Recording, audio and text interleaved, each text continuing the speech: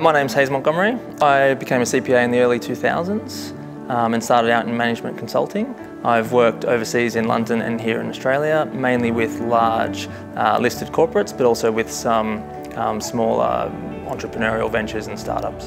The best features of the program are around working with real clients. It's taking time out, so two weeks at a time out of your day-to-day -day life to really immerse yourself in the material and, and help reflect and understand where you're at in your journey and what you need to change. As part of the Global Executive MBA program, you uh, do modules both here in Australia, India, Silicon Valley in the USA, and in Europe. Um, having an understanding and the, from the experiences you gain in each of those countries is really vital. Disruption is going to be uh, status quo and innovation is going to be a, um, business as usual. Thinking about the Global Executive MBA, I can think about the key elements that have delivered the most benefit to me personally.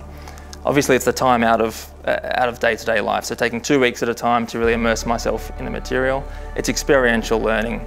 It's focused on disruption and innovation.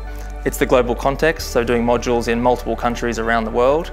And then finally, at the heart of it, it's a leadership program. So it's looking at what are the skills and attributes that I need as a leader to operate in this new economy of tomorrow.